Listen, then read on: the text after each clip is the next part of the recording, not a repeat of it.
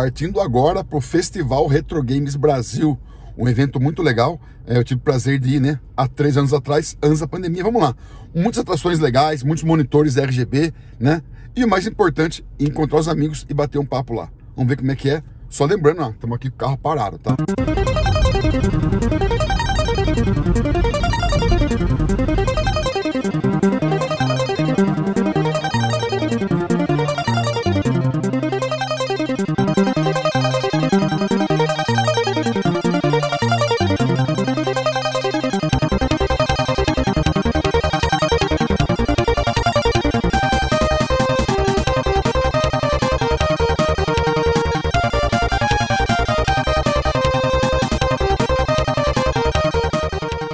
Beleza, pessoal? Estamos aqui, ó, finalmente com o André. Tá uma correria aqui no Festival Retro Games Brasil.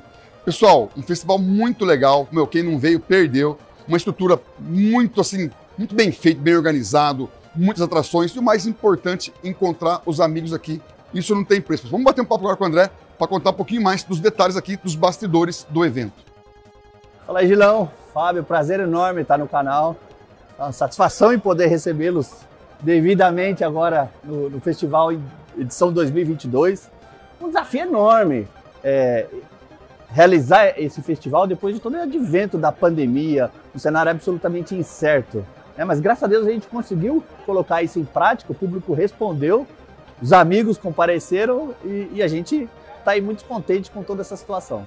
A gente, circunstancialmente, teve que diminuir um pouco o, o tamanho do evento, que inicialmente era para dois dias, é, e acabou é, sendo realizado só num dia. Mas isso não diminui em nada a empolgação né, e, e o desejo de, de, fazer com que o evento é, fosse realmente bacana. Nessa edição, ah, pela primeira vez na América Latina, o, público, o pessoal está tendo a oportunidade de, de jogar o, jogo da, o novo jogo da Tartarugas Ninja. Vai ser lançado daqui três meses. Acho. Exatamente. Primeira mão de verdade. Exatamente. O Arnaud, que é, é da área de, de marketing, tá aí tirando foto, batendo papo com o pessoal.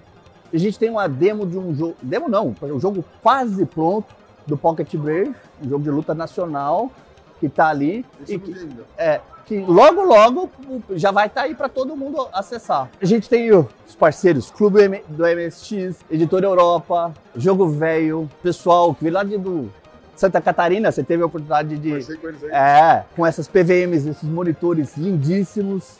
A gente está com lojistas, uh, o pessoal também, o Wellington, que já está com a gente já desde a da edição de 2019.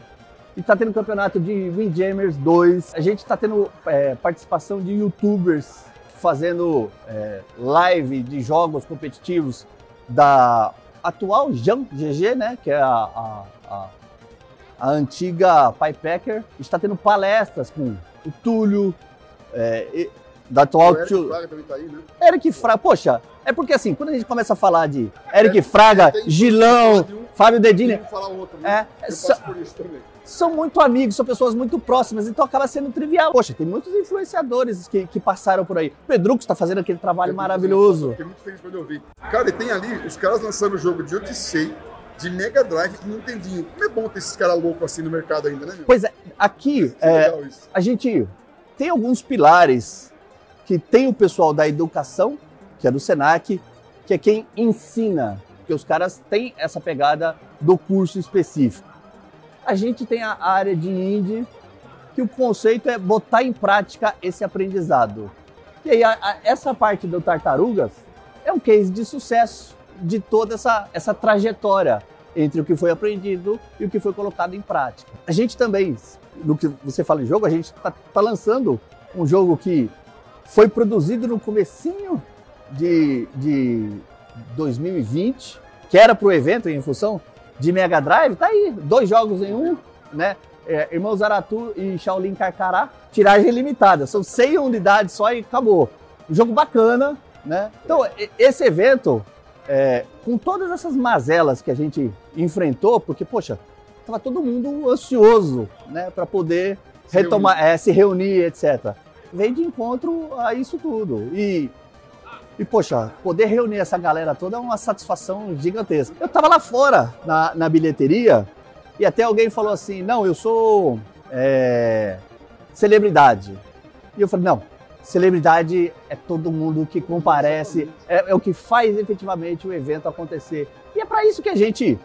Você está acostumado a fazer correria para lá e para cá o tempo todo.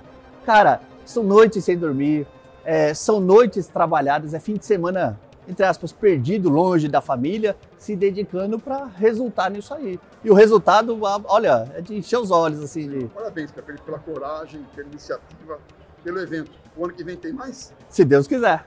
Show de bola. Parabéns mais uma vez. Obrigado, André. Valeu, Gilão. Obrigado, Fábio, por abrir esse espaço aí. Valeu. Um grande abraço.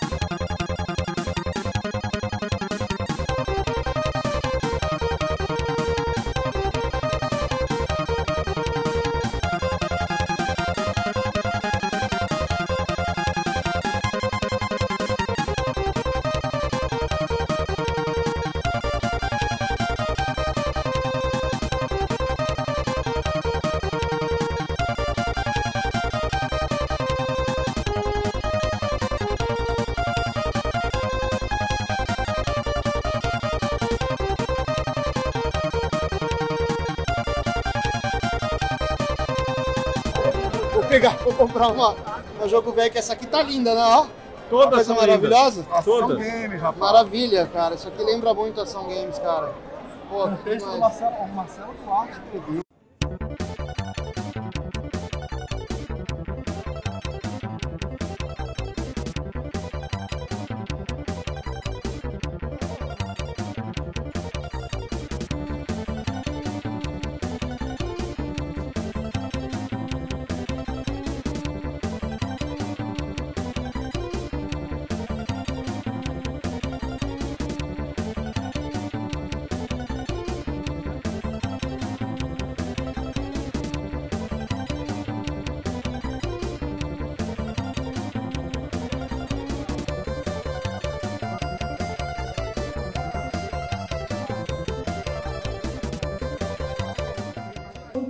Importando coisas. É uma coisa que vocês têm que se acostumar, respirar todo Porque tudo são trocas, sabe? Você troca uma coisa que tem prioridade B por uma coisa que tem prioridade A e que é essencial e que o jogo precisa para funcionar.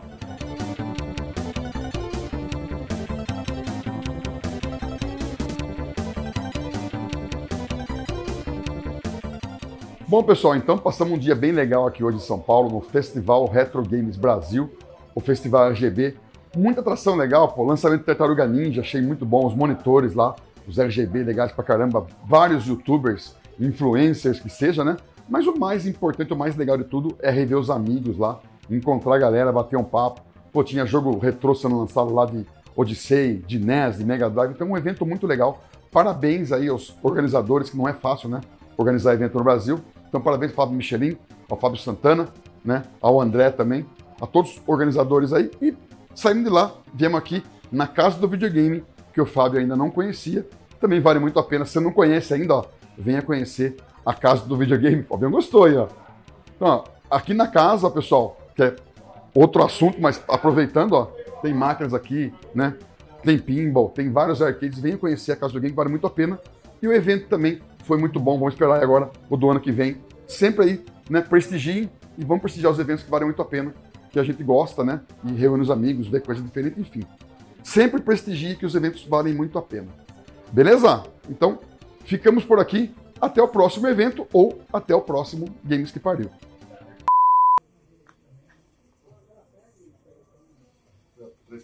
Filma o tiozão, que é uma entidade, né? É, tô possuído.